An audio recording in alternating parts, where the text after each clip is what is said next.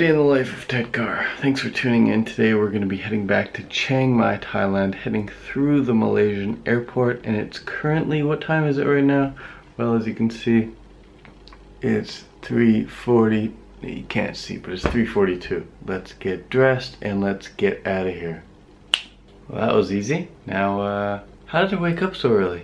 No alarm clock. My passion wakes me up. Do you want to race camels between the pyramids of Egypt? With your best friend? And win? Anywho, we gotta go. Taxi's outside waiting for us. Hello.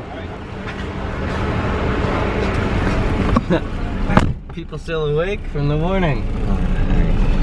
You had a short sleep? No, no, I, I never sleep. I always have coffee all the time. I just uh, relax.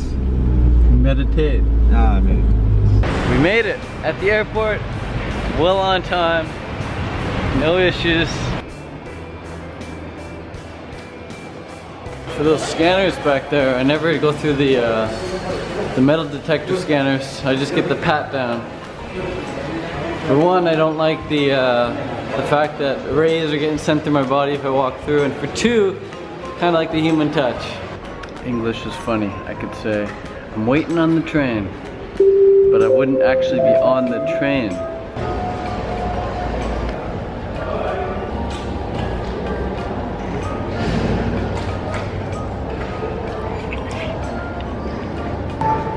It's now uh, 6 in the morning and I'm having my breakfast. It's my first dragon fruit of the day, but definitely not my last.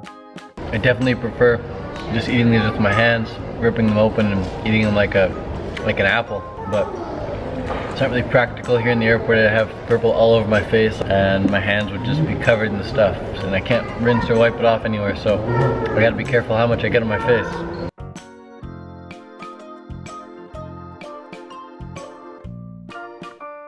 Hello. Terima kasih. We made it. We're in. Going to Chiang Mai. Going. They're going home. VIP.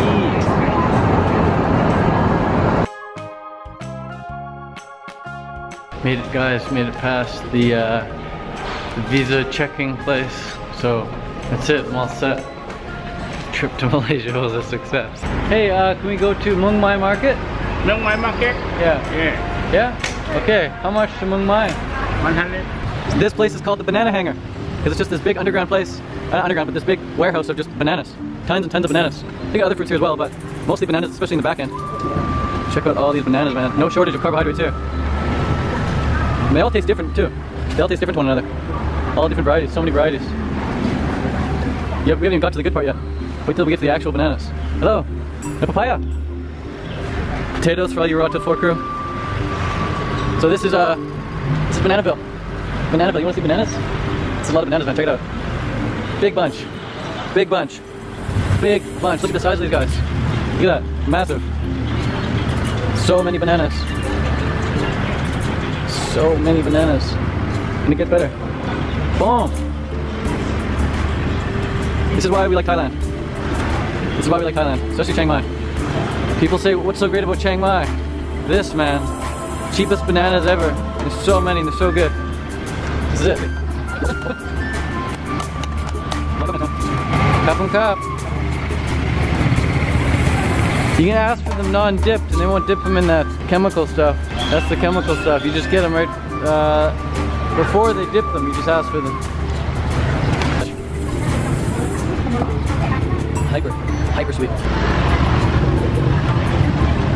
This is Thailand.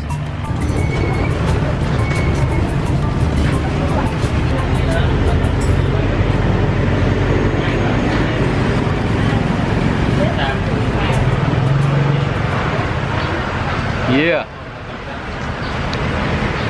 I can't talk, guys. I can't really talk when I'm eating durian. I just have to enjoy it. I'll get back to you later. I'm back. I made it. It was a six day journey.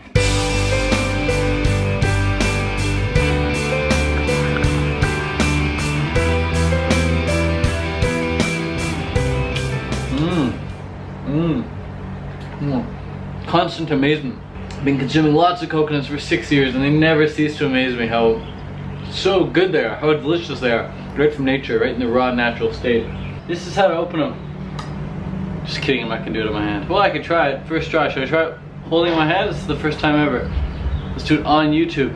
Oh God, oh God. Not too scared. Lululemon has this quote, and Lululemon says to do something every day that scares you. So this is this is what I'm doing that's scaring me. That's how it's done. And then you just pry her open. So this is good, good clean, good clean fuel. Uh, I used to I used to follow Harley a lot when it came to diet advice, and uh, he's a guy who really made me uh, go raw vegan and really push myself athletically as a raw vegan. And I used to follow him a lot, like word for word, and he'd say things like, the fat you eat's the fat you wear, but man, I stay lean and I eat as much fat as I want. I don't think about fat at all. I just eat it when I want and I don't eat it when I don't want. So if you want to eat co coconut meat, go for it, of course, but obviously get the most of your calories from carbs. Carb up. Ah, benefits of 100 squats a day in action. Mmm. Guys, I want to I want to emphasize how simple this diet is right now, okay? Sure, this meat has essential fat. Sure, this meat is considered good fat. But don't eat something for something. So don't eat spinach for the iron. Don't eat dates for the calcium. Don't eat oranges for vitamin C. That's like a, a, the medicine mentality, you know? That's the, that's the mentality of like, oh, I got a runny nose, I'll take something. Oh, I got a sore throat, I'll take something. Just eat food because it tastes good. It's that simple. When it stops tasting good, don't eat it. But that rule really only applies to raw food because McDonald's tastes amazing, pizza tastes amazing. So if it's in its raw natural state and it tastes amazing, eat as much of it as you want. Your body will let you know when enough is enough. Mm. I'll take a spoon and scoop that out for real, just like I did with little Bobby over here. This is called the Oh Wow bird. Oh wow. Oh wow. Oh wow. Oh wow. Alright guys, here at the pool. Nice beautiful outdoor 50 meter pool. It's first swim since Phuket. There is nothing as powerful as a changed mind. You can change your hair, your clothing, your address, your spouse, your residence. But if you don't change your mind, why am I out here at 8 o'clock p.m. when I woke up at 3.30 a.m.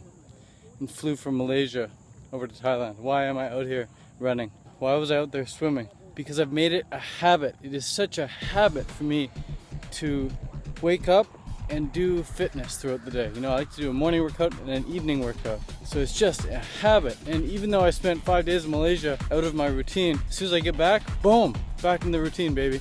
Autopilot, autopilot. I don't need to decide. I don't need to negotiate with myself. Should I do this? Should I do that? It's just action. It's just do it. It's automatic now. So you do anything every single day for a few hours a day for 21 days, it becomes a habit. You know, I've been doing this for four months now, nearly coming up on five months, training every day. It's a habit. Yeah, I can take five days off from Malaysia and only do a single run for the whole five days. And uh, you know, go a little stir crazy, go a little get a little cabin fever going on in that small room. But as soon as I get back, as soon as I get back in town, it's back to business. Back to business. Business as usual. Uh, feeling great feeling great. So if you want to do something, man, just break through that initial brick wall. You know, it's always harder to get started. Once you're going, once you're on track, once you're on track, it's autopilot. You don't need to think about it. But initially, getting started with anything, getting started with a cleaner diet, if you want to go raw, if you want to go fully raw fruitarian, you can do it, man. The beginning is hard. The beginning is so hard. The first year is hard hard for everyone. The beginning is the hardest. Uh, you look at any NASA or SpaceX spaceship going up to space, that initial launch up, that uses the most amount of fuel, that uses the most amount of energy. It's hardest to get started. You look at Usain Bolt's 100 meter sprint time, and it's like nine seconds or something, and you look at his 200 meter time, and it's it's faster than his 100 meter split, you know?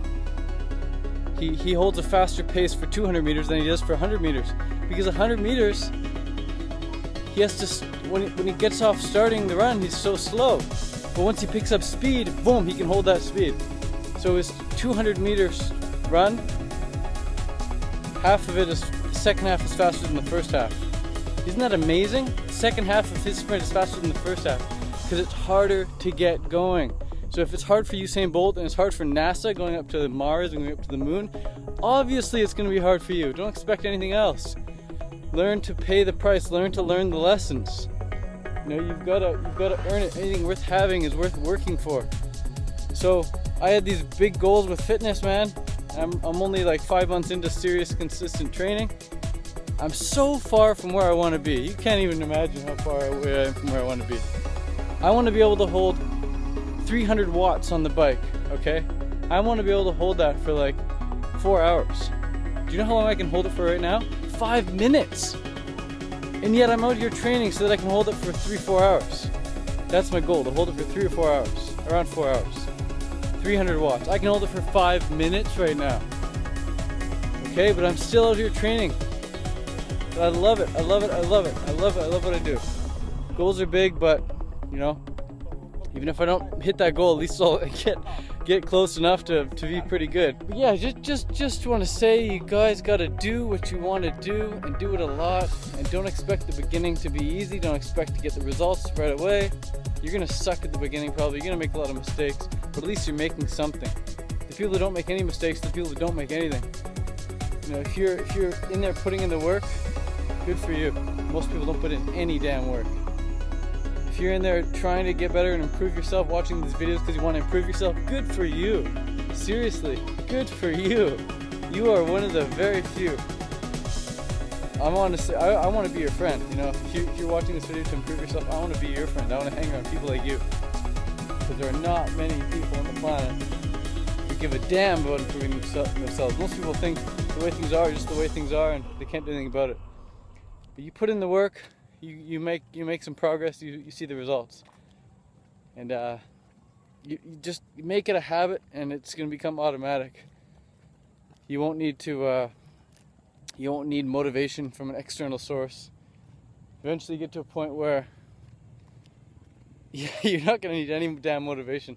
The only motivation you'll have is uh, just the fact that you're not yet where you want to be.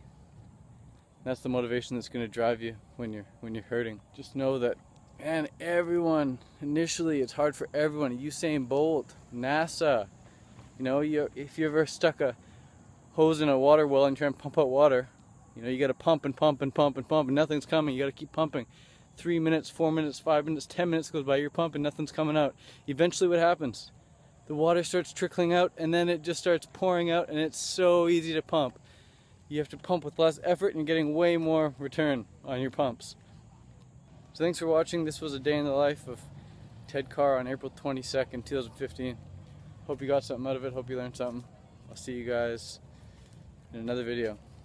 Peace.